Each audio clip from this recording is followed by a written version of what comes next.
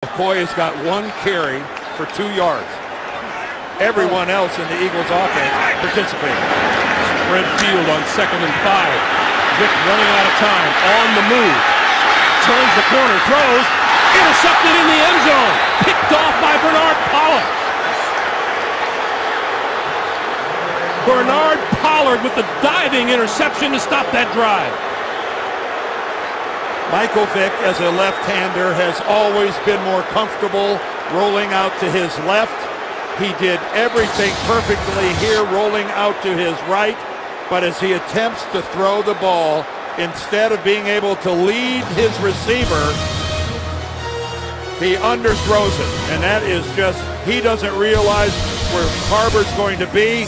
Easy pick.